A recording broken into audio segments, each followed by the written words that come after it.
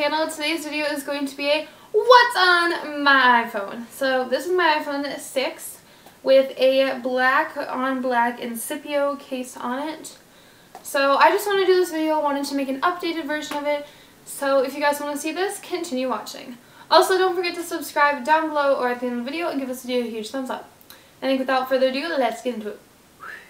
Okay, so we're going to start with my lock screen. So my lock screen is a picture of my friend Abby and I. And yeah. So starting with my home screen, it says prove them wrong, babe. I just always like to have inspirational quotes kind of on there. It just gets everything looking great. So to start off with, we have messages, calendar, photos, camera, then we have weather, clock, maps, notes, then we have reminders, iBooks, iTunes Store, App Store, then there's settings, contacts, find friends. So these are all like the basic apps that everybody has on their lock screen. So on the bottom I have phone, Safari, Spotify, and music. And I have a playlist on Spotify. I'll link it down below if I remember. Go follow it. Lit Music playlist. This is bomb. Go follow it.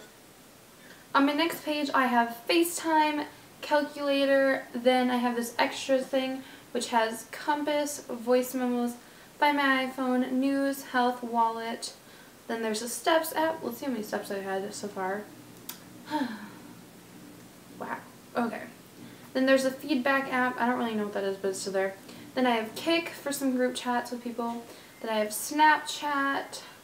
Then I have Twitter, Instagram, ViscoCam or VSCOcam.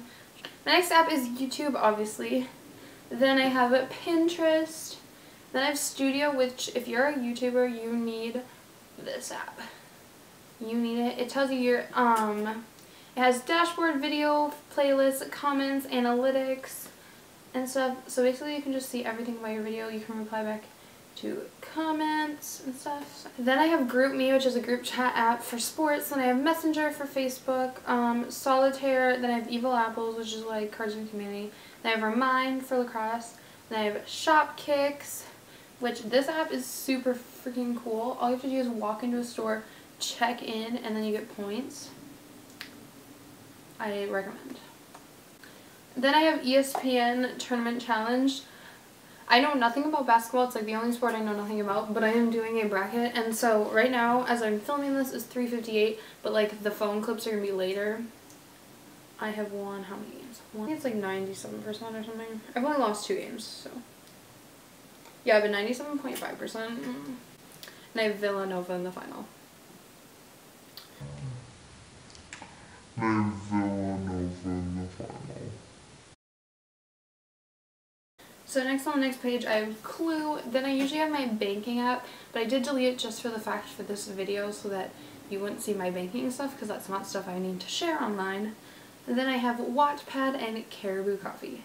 So yeah, that's all I have on my phone. I don't have a lot. So yeah. If you guys enjoyed this video, give it a huge thumbs up. You can subscribe right here and you can watch my two latest videos over here.